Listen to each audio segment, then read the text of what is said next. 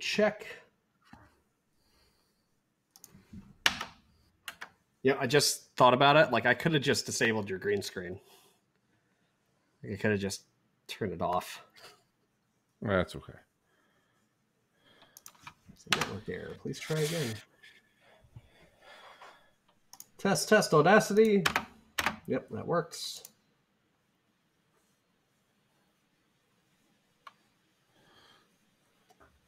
So close.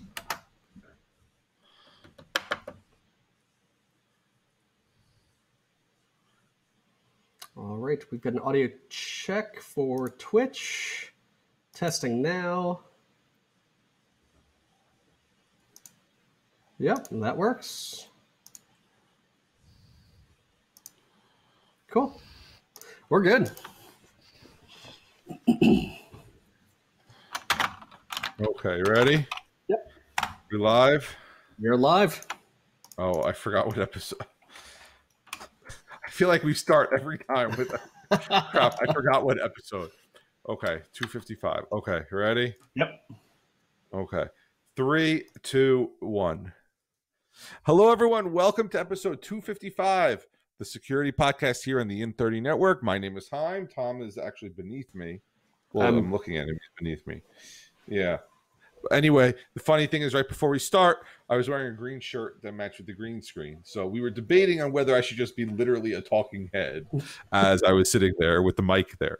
However, I'm not. And I'm actually annoyed because my headphones have that gap. So when I'm using Microsoft Teams, which I don't know, whatever you want to say about Microsoft Teams, I'm sorry if you have to use it. I can articulate literally every single problem Microsoft Teams has. and they're just playing catch up. It's maybe for your organization it's good, but if you're a teacher, it is terrible. But anyway, so yeah, the green screen shows that little green part and it can't it can't redo it so you know I'm sitting at a green screen. So I have to figure out how to adjust these, but what I can do? I can buy my $549 pair of Apple AirPods Pro Extreme Studio HD with more courage and no headphone jack. You know, I saw those things and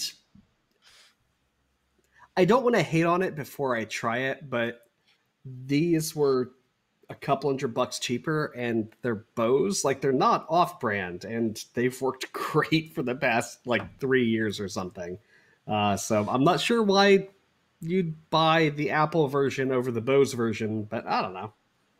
I guess we'll find out. Bag, and the bag, the strap that it comes with. That was is- so weird. Like I I don't need a headphone purse. That's odd to me. I mean the I mean, Bose came with a carrying phone. case, but like I don't I don't know. Like what happens if it holds like tact like it's tactical, like it has Velcro on the outside. It could hold your phone. Maybe that works, but I feel like I don't I mean even my wife doesn't carry around five hundred dollar bags. Yeah. I mean, they're outlet store five hundred dollar bags, but they're still anyway. So we we saw that, but anyway, uh, let's get started. It is after Thanksgiving. We all had our turkey. We were all socially distant. It was kind of miserable. I hope I was hearing about this all over that break. You started your own tradition.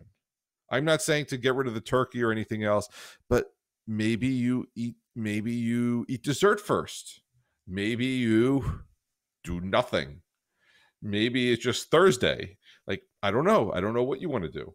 But it's we still had turkey, but I was like, you know what? We should start a new tradition. Maybe this is the right time to do it. And I don't know. Maybe Thanksgiving on Friday and you leave Thursday to not deal with crazy people. But I uh I broke a Thanksgiving tradition actually. Um I usually I, I try not to do any Black Friday shopping whatsoever because I think it's ridiculous. Like people lining up after dinner on Thanksgiving to get three dollars off of a pack of peanuts. Like I don't I don't know. I don't go shopping. Um, but I try not to buy anything on Black Friday because I don't want to I don't want to be that guy. I don't want to like throw my money into that that horrible pit of despair that is Black Friday shopping. But I I couldn't. I I bought a chair. it's a nice chair. I like it. I like it. It's great. Um, it's a online. yeah. I bought it online. Like I didn't go anywhere. No, I mean I'm not gonna leave this house. Are you crazy? Um, but uh, yeah, I did. I did buy a, a gaming chair, and I gotta say it's it's comfy. It's nice. It's snug. it's comfy. It works great. It's got way too many dials that no normal human has ever needed in the history of of chairs. But man, it's nice. So my a friend of mine goes, I need a new TV. And I'm like, okay, TVs are stupid cheap. I mean, whatever you want, like just tell me what you want and it's probably under 500 bucks.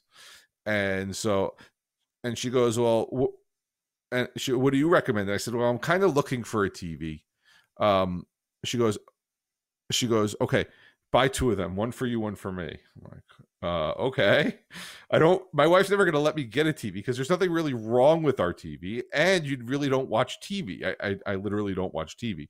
It's when you watch a show, it the auto brightness doesn't work, so it gets really dim and then really bright.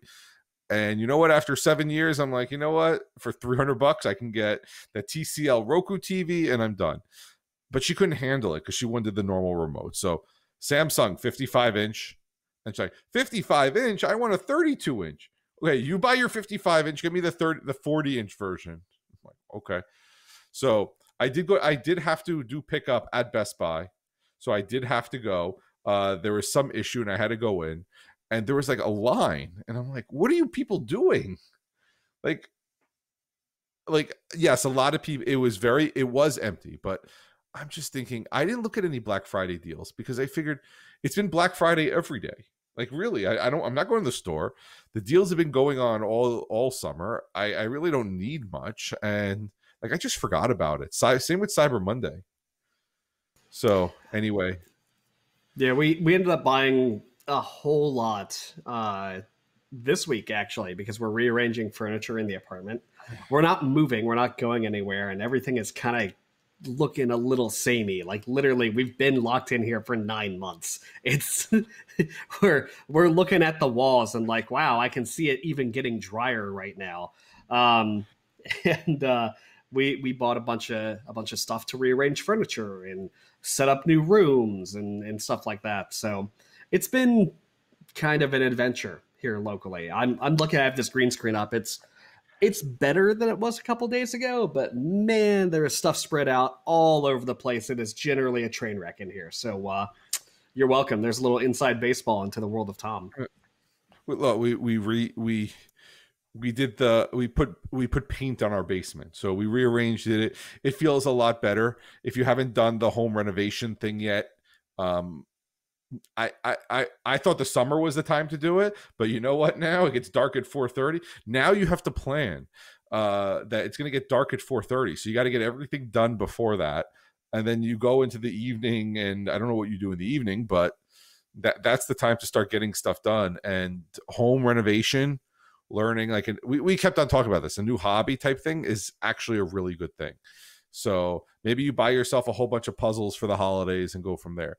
But we're almost seven minutes we're seven minutes into the show. Let's first start uh, let's first start talking about youtube dl we have an update. Basically i think github through or microsoft owns github and microsoft and microsoft issued a statement like oops that was our bad. Um we shouldn't have done that. That was not right. And moving forward basically we're we're going to alert the developer to the problem before we just randomly shut down things which seemed like i guess I thought the best possible solution there was. We're going to reform our ways. I'm sure not everyone's happy, but for the most part, I think that's right.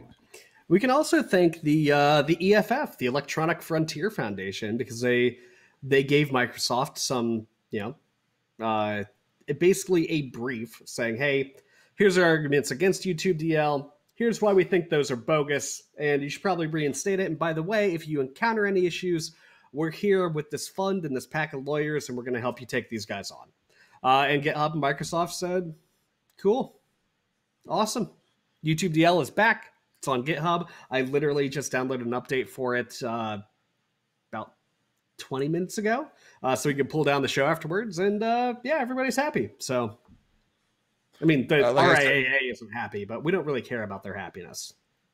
No, uh, I mean, I mean, I, I I do like small companies like Comcast and Walmart and everything else, but the RIAA falls into my big company status. So exactly, it's, exactly. It's I don't want to hurt Walmart. I mean, disclosure: I own stock in Walmart, but uh, you know what? It's it's I use it there's so many other uses for this and and to go after the person allowing you to download this to show in class and to do a whole bunch like you said what the EFF said hey these are the uses you're not going to go after somebody on the 1% chance that they're going to do anything bad it's the pencil theory. You can hurt someone with a pencil, therefore we should ban pencils. But anyway, so, so I'm I'm going to put you on the spot. I think if you yeah. wanted to show this in class and use YouTube DL to grab our entire library of shows on the In30 network, I'm fine with that. You fine with that? Well, we, we I am. We put under Creative Commons, so yeah. you can. We, we we really don't care. You are legally I mean, allowed heard... to take this, remix it, and uh, spread it everywhere. So I've heard people get CLE credits for our course, so for watching oh, us, I hey, so that's great. I mean, do what, you, do what you want with it, but yeah, take it down off YouTube. I mean, you can ask us. I mean, we'll just give it to you, but yeah, we don't really care.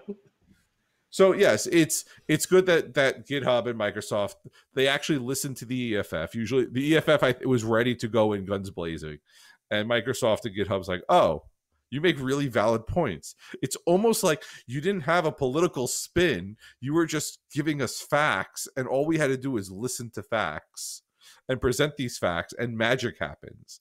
Like, wait, you're not actively out to. Well, no, the EFF does have their political motivations, but it's mainly for a free internet. And uh, if you have any money left in whatever this Giving Tuesday nonsense is, so after you know what Giving Tuesday is, Tom? I don't. Apparently, I did that though because on Tuesday I did donate a bunch of money to uh, Wikipedia and the EFF. So, like I do every year around around the holiday time, is I see okay, what's my donation budget? Cool, cut that right in the middle. Wikipedia, EFF, done. They both provide extreme good to the world. The EFF helps keep the internet free, and Wikipedia is possibly the best thing the internet has ever created in the history of humanity. Like it's truly a marvel. Uh, so yeah, they deserve die. they deserve money. I will die on the hill that Wikipedia is, while not an encyclopedia, this definition is to be the most ver. It's supposed to be a verifiable information, but I will go and say that they are more reliable than any other encyclopedia known to man. And if you magically get the one time that it was that it was uh, uh, defaced, okay, it, things like that happen. But Ooh for the most part. But anyway, so you have Thanksgiving Thursday. We get that. Then you have Black Friday. Then you have Shop Local Saturday. Then I guess you go to church on Sunday. And then you have Cyber Monday. And then it's Giving Tuesday. So the charities get nothing because you spent all your money. And they're like, whatever else you have left, give to us on Tuesday. So that's where Giving Tuesday comes from. Um, I too, I think I always get the Jimmy. So Jimmy Wales did something interesting. He they remember your donation from last year, and they're like, "Hey," uh, but they did that to me in October. Like they did it really early on, and then they did it to me again. Like, so I would you like to give twenty percent more? It's only like twenty more cents. I'm like, sure, whatever.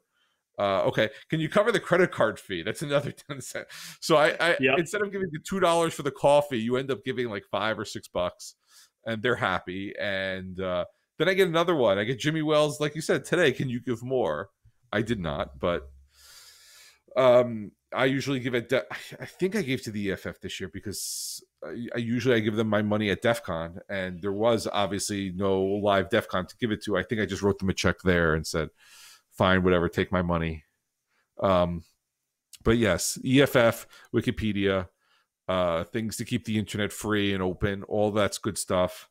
Okay, and we can move on from there. So the the we have a middle story. We have two middle stories. First off, Office 365, or I guess now they call it Microsoft 365.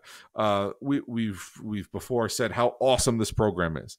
They did something a little shady. I don't know. It's not illegal, but it's really shady. They introduced this admin console, what we call a productivity score, and I, I don't know I don't know in what uh, corporation you're in or you're listening to, but you all know they're trying to find metrics on you on how you're working. Turns out Microsoft did that. They're saying how how much time you're opening your email, how much time you're in Excel and Office, and they have some metrics on this that I guess goes to the IT department, and then IT can solve it into whatever they want, and then they can use that with however metrics they use to rate you. And it got to it got a tremendous amount of pushback. Like we were going to talk about it last week, to the point that they Microsoft didn't kill it all the way, but they really dialed it back to say, "Oh, uh, this may have not been the right time or the right place or whatever it is." Especially if you're working from home. So, yeah, I, I think we're going to see a, a lot of these things uh, probably pop up. Um, like I, I think I think hopefully, hopefully, knock on wood, cross fingers, all that stuff. But hopefully, we're coming out of the other side of this weird tunnel that is the year 2020, uh, and we might maybe get back to you know working in buildings full of people again here soon. Um, but I, I, was expecting a whole lot more productivity tracking, frankly. Um, the the fact that Microsoft put this out, yeah, it's not not really the best time. Read the room, guys. Um, but if you don't think these types of metrics are being used right now, you know whether whether built into productivity suites like Office or otherwise, um, you'd be surprised. Um, these types of metrics collection, uh, metric collections happen all the time, uh, especially in companies that have now forced uh, people to work from home. They're looking for anything they can to justify people working from home. They're looking at anything they can to say, yes, people are still productive at home and no, they're not just watching Netflix on their couch, they're doing work, right? Sometimes that's easy, right? So sometimes if you have deliverables or projects or deadlines and stuff comes out in time, well, clearly you're doing the work you're supposed to do, right?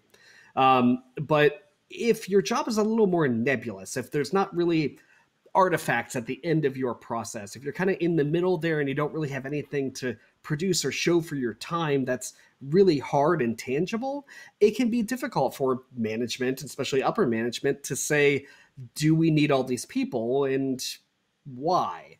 Um, and so Microsoft is trying to solve a need for for that class of people by saying, hey, here's a number. Here's a verifiable number of people in our tools doing work with our systems, doing this stuff. And I understand that argument. The downside to that argument is, man, is that invasive. It is a massive, massive uh, privacy violation. That said, you're on company equipment, on company time. Do you really have that expectation of privacy? No. Should you? Should we? Probably. I, I, think there there is a line there that's not zero, right? Um, you know, you are getting paid by the company, so you should have something to show for it, but you don't want like you don't want them counting the you know three minutes you take to head to the bathroom or grab a cup of coffee or deal with a screaming child. Like come on we're we're all just muddling through this year really. Um, i think a little bit more empathy and understanding could go a whole long way Look, uh, I think that that when we when everyone first went home, there was a big there was a big I guess rift between the people who were actually getting work done and the people who couldn't handle it. I am not uh, me personally. I have to be at work. Um, I am not good at home because I'll find every excuse to not work. My saving grace is I literally have to be in front of the camera uh, for four hours a day, and I can't leave because I have students there. So I have my team my team's meeting and I we do our work and what I say is, "Hey, I'm going to hang out here because I have to. You don't have to hang out here. I don't need you pretending to be there. So you can leave and uh and just get your work done." And I'm finding out that people are not getting their work done. I mean, I can't force them to be on camera and I can't force them to talk and I can't force them to do a lot of stuff. However, I have to be there. And I'm starting to see myself, we're like three weeks into this for me at least. And I'm like, oh, if I finish 10 minutes early, I can I can make myself more coffee. And then, oh, I can get this one little job done. Or, you know what? I'm going to fold clothes, but I'll keep my headphones on. Or, so, and I'm starting to see that time slip. And you know what? Not that I, not that I want to always be watched, but it's, it's, to say, hey, you have to remember, hey, we are in company time. They can jump in, they can do this. And maybe it's maybe it's they want to know you're on Outlook too much. Maybe it's a positive thing. Maybe they're saying, hey, look, we noticed that you're spending a lot of time on email. Maybe you can be more. I don't think anyone ever says that. Maybe you can do it this way. Maybe you can only uh, answer email a couple times a day. I don't know. I don't think it's going to be a positive thing, but it's one of those things. Hey, you have to know that if you're on the company VPN, they can probably see what you're doing. If you're if you're logging into the company VPN at 10 p.m. at night, they they're probably wanting to know why. But anyway, or or they're probably happy because look at you logging in at 10 p.m. You are efficient, getting stuff done even off of work hours. Good for you. You get a promotion. That's probably not. Frankly, most VPN logs, unless there's an issue, um, I'm going to speak from my time working in IT. I didn't look at our VPN logs at all unless there was a problem. Like I, I'm not tracking when people are logging in or logging out. A, because I don't care. Like that's the main reason. And B, I I have like an entire list of things I need to get done. Reviewing VPN logs and figuring out who's logging on at odd hours of the morning is not on my to do list, not in the least. Um, but yeah, like I, I think it's important that we we admit and recognize that right like we we are professionals. We are adults. We hold jobs. We've held them for a long time.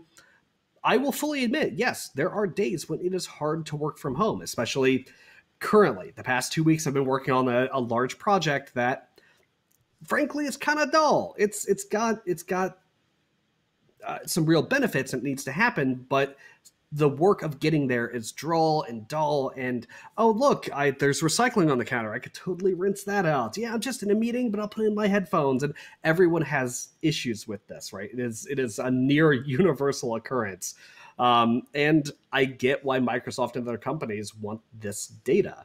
Um, I don't think it's evil. I do think it's misguided. I let's we'll leave it with this because uh, we have ten minutes. I agree that there has to be some sort of tracking. You want to make sure stuff something does get done, especially when we're out for so long and maybe this is the way to justify maybe IT justifies hey we're able to do this. We can downsize our buildings. I don't know if that's ever going to happen but i can see smaller companies instead of having a whole floor now have basically the equivalent of WeWork or some sort of co-working space that's theirs it's for their people but you have like a bullpen of desks and say hey you can come in and work on these days. Like they're all corner offices or they're all offices but you can come in and say, but we really don't need half of you. Just get your work done. And maybe we get shorter meetings. Maybe we do. I don't know. Um, I, I think that I'm lying to myself to think that this will ever happen. Uh, my my company has actually used. Um, I can't say my company. A company that I have worked for in the past. I always say my company when referring to previous jobs. Um, but a company I've worked for in the past um, actually used data around the amount of time employees spent in meetings to decrease the amount of meetings we all went to. We are all way more productive at the end because we didn't spend six hours in meetings per day, which was great. Well, I will leave it with this. My uh, my boss sends out a weekly newsletter email, and we would on Monday discuss it, and and I get people that say, "Oh, I didn't look at it yet." Well, that's your job. Like if you don't want meetings, you have to look at that. And if you're not going to do it, then we're going to have meetings. And then you complain that there's too many meetings that could be sent in an email, but if you don't read the email. So maybe it's checking if you read the email by seeing when you log in. I don't know. Anyway, we're at 22 minutes in. Um, our next topic, we're going to try and do this. I don't know how well we're going to do it. We wanted to talk about Section 230. Um, in short, Section 230 is an American law. We have to remember this on the books that provides some safe harbor to uh, company, social media companies in particular, tech companies, from from getting sued because their I don't want to say their feelings are hurt, but for for enforcing free speech, but obviously with limits. And and I'm gonna I'm gonna ask Tom if that's a good primer. Yeah, so it's it's more for tech companies want to be able to have users generate and post content. Like take YouTube for example. YouTube's a great example for Section 230, right? Most of the videos on YouTube, they're totally fine. But sometimes a user will take an entire episode of a copywritten TV show, throw it up online, throw up an entire movie on YouTube, and YouTube needs to take that down. Now, before automated systems get to it, let's say that thing is live, people are watching it, and the owner of the TV show reaches out and they try to sue YouTube. Um, now, if YouTube were to keep that up, if they weren't going to take it down in time, if there weren't any controls in place, then yeah, that company has every right to sue YouTube. What Section 230 allows tech companies to do, or any other communications platform, is basically have these safe harbor rules when it comes to user generated or user provided content. So if a user does something illegal or you know infringes copyright, it, it gives the uh, the platform owner the ability to take that stuff down within a reasonable amount of time in good faith and say hey look we're complying with the law sorry this user did that but we've taken down their content and it's no longer an issue um, it's a, a, way for youtube to even exist or twitter or facebook or anywhere that allows people to post content online it basically allows them to exist in the state of we are not responsible for what our users post as long as we take down infringing content within a reasonable amount of time, right? It's the law. There's a lot of like wibbly, shaky parts in there. I'm not a lawyer. None of this is legal advice. Um, but it, it does allow companies to have user generated content without this oppressive fear that something somebody posts on that platform will get them taken off the net. And I'll add to that that even fa- Facebook and Twitter and YouTube and Instagram and Snapchat and TikTok, they they want to be that that open forum. They they really do. They they they want you to have discussions. They want you to have rational discussions. They want you to be safe to each other. They are not in the let's let's harass people. They don't want to be a part of that. And they they're aware that it exists. But there's a fine line there between between what's going on, and this is the Twitter issue. And people on Twitter are saying, "Hey, uh, this is going on. How come I'm getting harassed?" And while other people can say different things i'm getting harassed and twitter takes you seriously and you may not like the result or all that but it's a big company facebook's a big company youtube's a big company things like these happen so yes you can sue you can file lawsuits and everything else but for the most part, I don't see any of them being. You may not like the company, but I don't see any of them being nefarious and saying, "Oh, we're, we're targeting you or this group of people" or anything like that. Section 230, one, one of the things that people don't talk about, it, mostly it's the safe harbor protection, but uh, one of the um, aspects of this American law uh, is that companies are somewhat protected from taking down content that may be perfectly legal, right? You, you, it might be constitutionally protected speech that a company takes down. Now, that said, there's a couple things we have to explain here uh, in America, we've got the First Amendment. It's freedom of speech, which includes like written, broadcast, whatever, right? Um, including internet companies and social media companies.